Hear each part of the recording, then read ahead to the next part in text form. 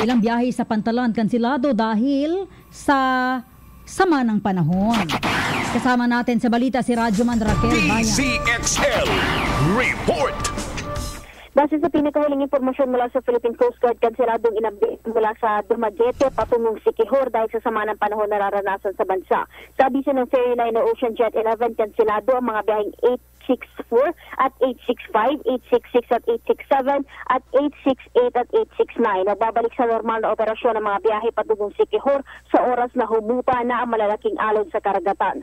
Pinapayuhan ng mga apektadong bihero na makipag-ugnayan sa kanilang ferry lines para sa iba pang detalye at updates.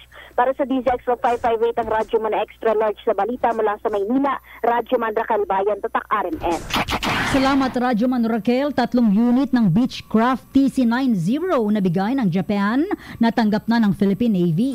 Kasama natin sa balita si Radyoman Roy Mamoga. DZXL Report.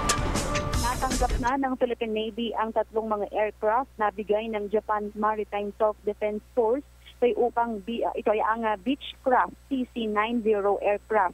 Isinagawa ang transfer ceremony kanina sa headquarters ng Naval Air Group Naval Base Heraclio Alano, Sangli Point, Cavite City. Dinaluhan mismo ni Defense Secretary Delfin Lorenzana at Japanese Ambassador to the Philippines, Koji Haneda, at iba pang delegado mula sa Japan, Ministry of Defense at Japan Maritime Self-Defense Force ang seremonya. Sinabi ni Lorenzana sa kanyang talumpati sa ginanap na transfer ceremony na malaki ang maitutulong ng mga aircraft na ito para mas mapaangat pa ang Philippine Navy's capability sa pagbibigay ng humanitarian assistance at pagsasagawa ng disaster relief operations at maging sa pagpapatrolya. Pero inamin ng kalihim na kulang pa rin ito ang uh, equipment na ito ng bansa lalo't na nanatili ang territorial disputes sa pagitan ng bansa at China at iba pang Southeast Asian nation patungkol sa West Philippine Sea. Ang tatlong aircraft ay bahagi ng limang TC-90 aircraft na bigay ng Japan sa Pilipinas. Ang dalawang unit ay naipadala na sa Pilipinas ng nakalipas na taon.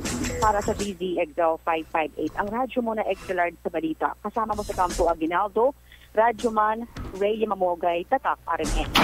Mas maraming balita mga kasama sa Facebook. I-like kami, RMN News Nationwide, The Sound of the Nation at ang DZXL 558 Manila.